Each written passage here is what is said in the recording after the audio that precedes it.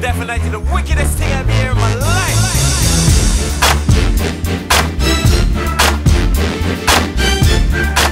Hello, this is Gutenschneider, and this is the second part of my helmet videos, where I'm showing you how I built, make, well, before I paint it.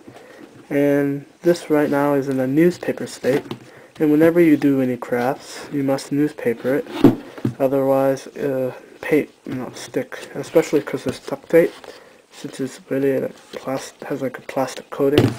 My paint doesn't stick to it because I don't use spray paint. I use just regular brush on paint from the dollar store. and it's quite necessary because you can also hide imperfections. Because right now you don't see all this ugly cardboard and glue. Instead you see a very nice uniform dome shape. And I'm thinking of making it black.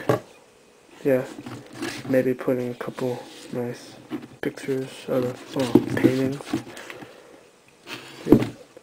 And also, I want to show you a sneak peek of a Mac 10, which I'm planning to have magazine release for it. Hold one second. Magazine just fell. Magazine goes in here. And these are the two plates. I'm hoping to make it field strippable. And that's it for my helmet. There's Mr. Box. Hello, this is Gutenschneider, and I'm just going to show you a portion of when I paint the helmet. And all you need for this is a bucket full of water, and a tray to hold your paint, paint, newspaper on the bottom, and paintbrush. And also a hair dryer. I plugged it in already. Now, this procedure goes for any of my cardboard creations. Shake the bottle open it. Yeah. You just pour some out. Actually, I found that if you're doing something like this, wet your paintbrush just a little and pour the paint directly onto the object and just paint. Get closer. And especially for black, when I use black, I really only need one or two layers. Normally I use two, at least two layers. Otherwise, and just paint enough layers until you can't see it.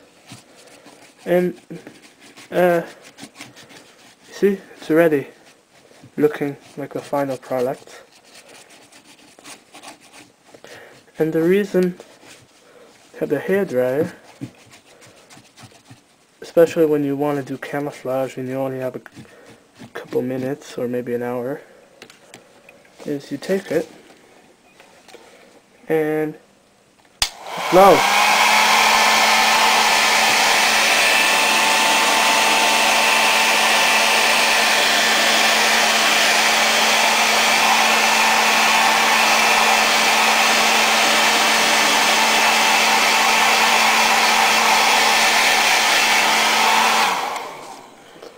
Now, for this paint, already, oh, well, it's almost dry, but it really speeds up the process.